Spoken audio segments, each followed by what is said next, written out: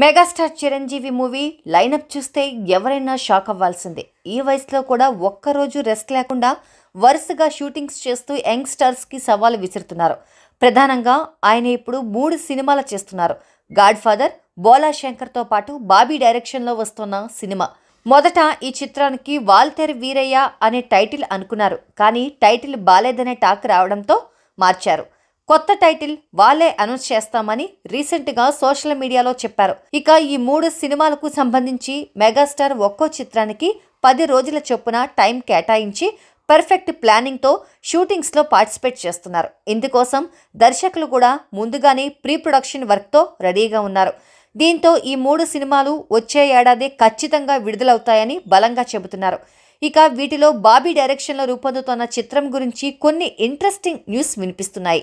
ఈ చిత్రం Vizag port back డ్రాప్లో సాగుతుందట. ఈ పోర్ట్లో లేబర్ పనిచేసే నాయకుడిగా చిరు కనిపిస్తారని అంటున్నారు. అంటే ముఠా మేస్త్రి సినిమాలో కూరగాయల మార్కెట్ తరహా పాత్రలా ఉంటుందట.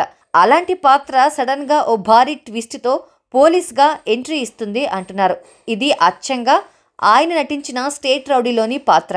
ఈ పాత్రను చాలామంది పోకిరి చిత్రంతో పోలిస్తున్నారు. కానీ అది తప్పు. పోకిరియే స్టేట్ రౌడీకి కాపీ.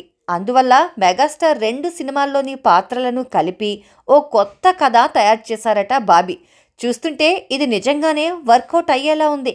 ఇలాంటి పాత్రలో మెగాస్టార్ బాడీ లాంగ్వేజ్ ఓ రేంజ్లో ఉంటుందని ఆయన అభిమానులకే కాదు కామన్ ఆడియన్స్కి కూడా తెలుసు. ఈ వయసులో అలాంటి మోసివ్ ఎంటర్టైనర్ అంటే మెగాస్టార్ ఎలా రెచ్చిపోతారో కూడా ఊహించవచ్చు ఏది ఏమైనా ఇది కథ అని చాలా ముందుగానే ఊహించి రూమర్స్ రావడం ఆశ్చర్యమే. కానీ ఇదే కథ అయితే మాత్రం మరో ప్రమాదం కూడా ఉంది. బాబీ ఈ కథనాన్ని ఈ కాలం ప్రేక్షకుల అభిరుచికి తగ్గట్టుగా రూపొందించాల్సి ఉంటుంది.